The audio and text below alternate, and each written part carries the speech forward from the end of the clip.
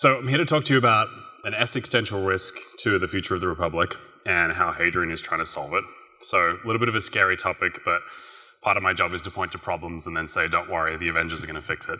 So um, basically, if you think about the space industry, the defense industry, and the semiconductor industry, all of the primes, whether it's new primes like SpaceX, Astranis, Anduril, or Lockheed, Northrop, any of the primes that are making supercritical programs for the future of the country to win Space Race 2, defend Pax Americana, and reshore semiconductor, basically the entire defense industrial base that makes the components for all these primes, whether it's Stingers, Javelins, satellites, rockets, jets, is basically made up of 5,000 small mom and pop machine shops, which are a holdover from how the defense industrial base got built in the first place. The scary bit is that the average size, is they're at less than 20 employees, 7 million revenue, and that makes up 90% of the advanced manufacturing volume in the country. Most of them have no succession plan, so when they retire, they don't hand it over to a son or a daughter or sell it to private equity. They sunset the business and lock the door and throw away the keys. And because of this, right now, the space industrial base is completely over capacity and rapidly declining, and it's going to get even worse. So we think we've got about three to seven years before the defense industrial base collapses because these 62 and 63 year olds are retiring at an ever, ever increasing rate, taking the capacity in the businesses with them. Now, all the machining capacity that serves these primes is about 60 billion, but it's split across 5,000 small businesses. And so it's unbelievably fragmented. And unless we figure out a way to replace this capacity, which is at capacity right now, because it's getting flooded with all these space companies and ramping defense programs, unless we as a country figure out how to replace this capacity, we'll not be able to sustain the existing space and defense programs. Everyone knows we're already several years high, you know, behind on critical deliveries to Taiwan and Ukraine, let alone innovate on new programs from companies like Anduril or the existing primes. And the defense industrial base that feeds the primes is the number one bottleneck for arms sales in the defense of the country. So basically, we all know we need to arm Ukraine, Taiwan, other regions with asymmetric armaments to prevent CCP and Russian aggression. That's a great thing. But ballistic small arms programs, fighter jets, submarines, we're all three to five years behind delivery schedules already because the defense industrial base is at capacity. It's only going to get worse. And the simple fact is the primes cannot get enough parts in order to assemble the munitions or hardware at the required rates.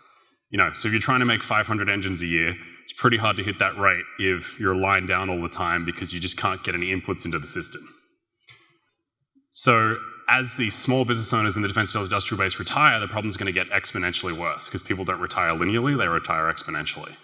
So Hadrian's mission is to basically reindustrialize America and the way we are doing that is building automated factories for space and defense. So what we are building is a highly automated machine shop factory that is scalable, um, combining the best of Silicon Valley software engineering with training so that we can rapidly scale new workforce capacity and factories into the system so that we can crush this bottleneck and go win the day. What we've built is a system where we can produce flight hardware 10 times faster and 50% cheaper than anybody, and our strategy is that we automate 70% of any of the factory processes and leave the last 30% for humans to do, but massively simplify it. Because one of the things we have to do is aerospace and defense manufacturing is extremely complicated. The average age of a worker in the defense industrial base is 55. There are no new entrants to the workforce. We forgot to make manufacturing sexy.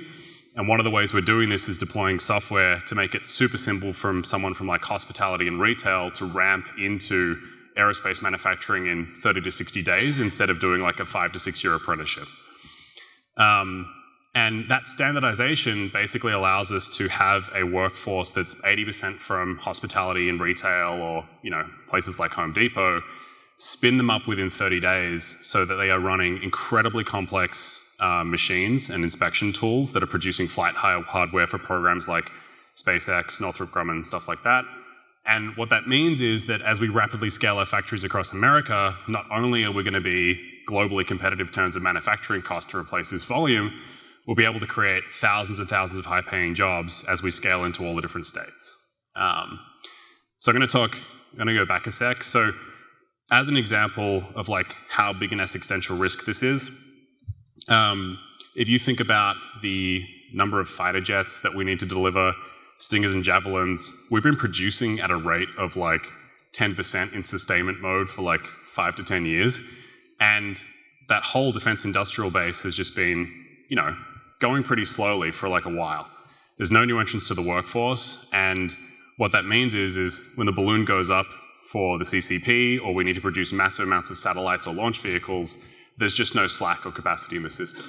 Um, and if we don't have that capacity, we're in real trouble. And the reason why we won World War II was effectively because we had this incredible, incredible domestic manufacturing base. We we're making cars, consumer electronics, planes, and when the balloon went up, we could point that domestic manufacturing capacity towards defense, you know, in a time frame of like six to 12 months. In the current world, without companies like Hadrian, we have no slack in the system, and if the balloon goes up and we need to increase rate on any of these critical programs, you know, you just think about an F-16, you need to go from making like 100 landing gears to like 1,000 very, very quickly. Right now, in the current day, it's completely impossible. We need massive investment in this space and a scalable, scalable factory system, and the combination of automation and training is the only way to get there. And unlike self-driving trucks, for example, where if you automate trucking, you're putting millions and millions of Americans out of work potentially because they're of good working age. In the defense industrial base and machining especially, you literally can't go out and hire several thousand people to go spin up new programs or like manufacturing capacity. So building this like automated factory system where training is the key we're able to take people in their 20s from hospitality or retail and spin them up into this ecosystem incredibly quickly is basically the only way we have a hope in hell to like scale out billions and billions of industrial capacity to be able to start meeting rate on some of these really critical programs. And when the balloon goes up and you know we're trying to defend Taiwan or even deterrent strategies, it's the only only way that we're ever going to be able to have enough capacity in the defense industrial base to like go solve this problem. So it's incredibly scary, it's incredibly large, it's going to require private-public partnerships from both the OEMs, the primes, the government, and venture-backed startups like Hadrian to fix this problem but it's incredibly important that we recognize that we're not going to be able to do this, win Space Race 2 and defend Pax Americana unless we take a serious look at the defense industrial base and spin up massive amounts of capacity and a new, new workforce incredibly quickly. That's the problem we're here to solve. Um, currently serving a ton of primes in both uh, commercial space and defense. There's a long, long way to go to build the billions of capacity that we need in the ecosystem, be able to hit rate on fighter jets, submarines, everything that we need to defend the country. Um, and that's the problem we're here to solve. So I uh, went very quickly through this. So I really appreciate the time, but hopefully that's uh, illuminating of the real problem that we've got in the ecosystem. So thank you, and God bless the United States of America.